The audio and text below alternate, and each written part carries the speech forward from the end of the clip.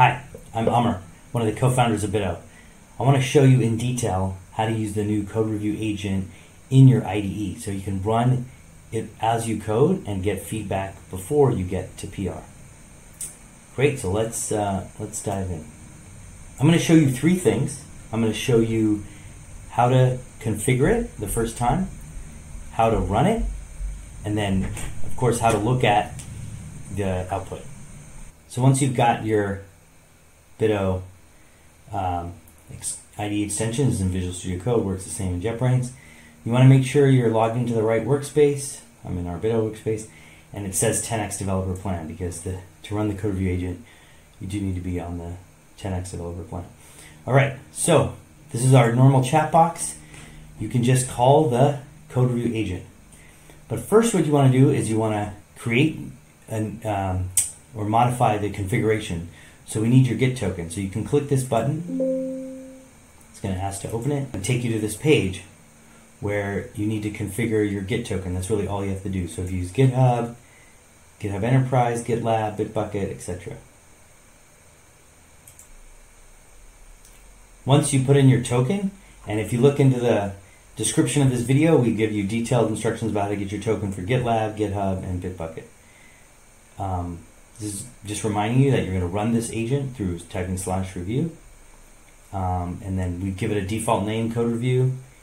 Uh, and if you want to have any files or folders ignored or change anything about your source or target branch to ignore, you can do that.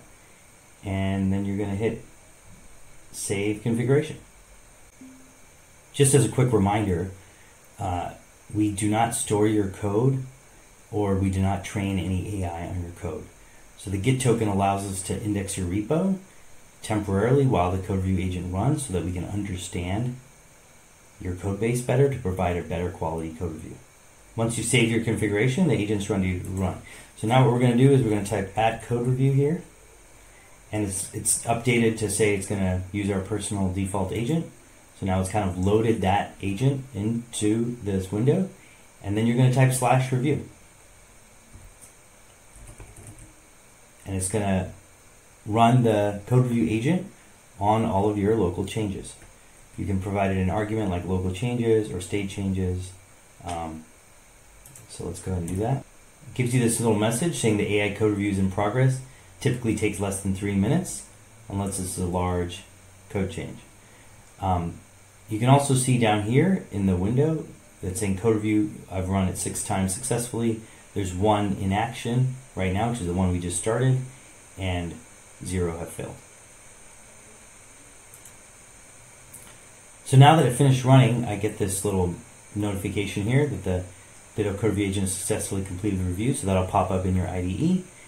Um, you can click here to view the results. Also, you can see now that I have seven code review agent runs that ran and none in progress. Click here to view results. Now it opens up the review. All right, so now what we can see here, interesting. So it found an issue here. Using an empty string as a stop sequence may not have the intended effect. I can go ahead and open this in diff view so I can understand what were the changes that I had made. And I can see where I had made a change in our chat interface. And then I can see the suggestion as well. So they're suggesting we add back in, if you look at the plus sign here, add back in this Bito assistant. Um, and then there's another change suggested.